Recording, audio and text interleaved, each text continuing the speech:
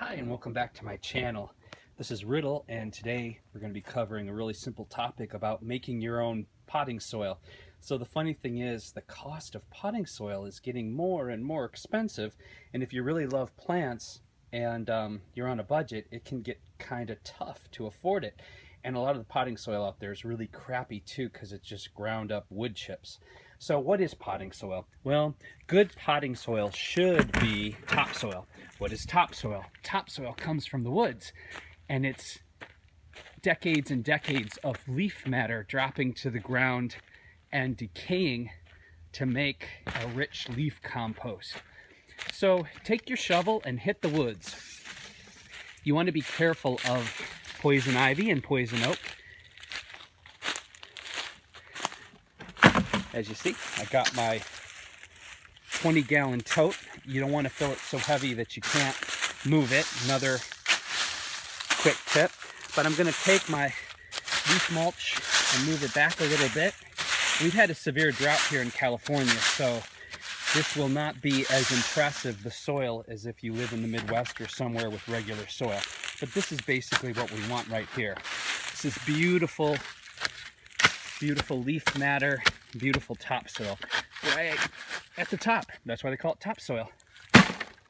And so you just want to scrape that nice rich layer, a combination of broken down soil and light leaf matter off and fill your bucket as heavy as you can carry it.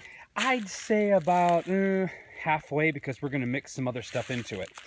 Some other ingredients that will make a lighter soil or make a better soil for you are perlite, but you have to buy that.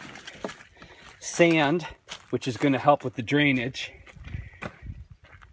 And peat moss, which I don't think you're really going to need the peat moss because the wood chunks and the leaf matter from the forest floor should be enough. I'm also going to add some just plain old clay soil to this because it's going to be so rich, so rich in leaf matter and acidity and nutrients that I think that we need a little bit of clay to help balance things out. Now we're going to come over to this awesome dead old tree. You'll find lots of decay decaying trees in the woods. Now the only trick to using bark or wood matter in your soil is if you're going to use your potting soil inside, be mindful that all of this soil may contain insects.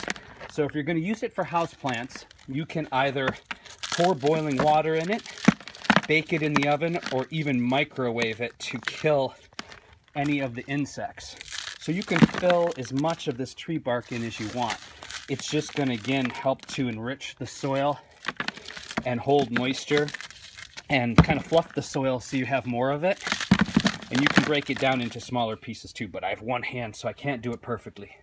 So after you've added as much of this rotten wood and I'd say one third clay and then the rest should be your topsoil or your leaf litter from the forest, you add water and usually when I'm hydrating it, I'll fill the water up to about two inches before the line and let it soak in and then let it sit for at least three or four hours or longer.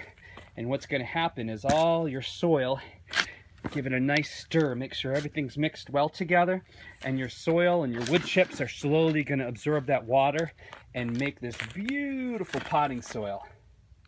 Okay, well that's the basics. It's really simple.